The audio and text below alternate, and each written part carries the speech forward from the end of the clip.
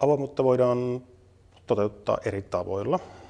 Puhutaan niin sanotusti kultaisesta ja vihreästä avoimuuden linjasta.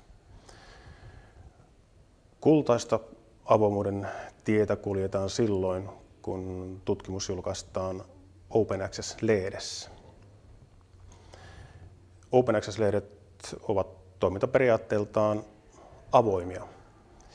Eli ne eivät peri perinteisiä tila- tilausmaksuja, vaan lehtien toiminta rahoitetaan yleensä kirjoittajilta perittävillä kirjoitusmaksuilla.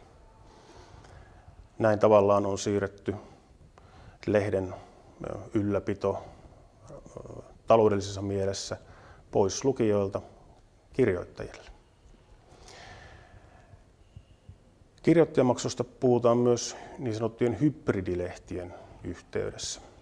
Nämä hybridilehdet ovat toimintaperiaatteeltaan perinteisiä tilausmaksullisia lehtiä, mutta kirjoittaja voi ostaa oman yksittäisen artikkelinsa avoimeksi maksamalla kirjoittajamaksun.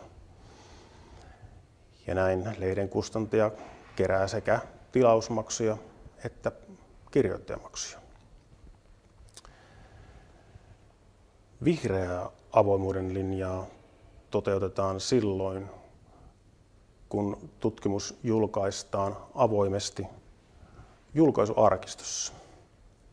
Tällöin tutkimus julkaistaan ensin perinteisessä tilausmaksullisessa lehdessä ja tämän tutkimuksen käsikirjoitusversio tai tällainen final draft-versio talletetaan sitten julkaisuarkistoon. Ja tämä käsikirjoitusversio on sisällöltään täysin samanlainen kuin se julkaistukin versio. Kustantajat usein asettavat julkaisulleen niin sanottuja embargoaikoja, eli viiveaikoja.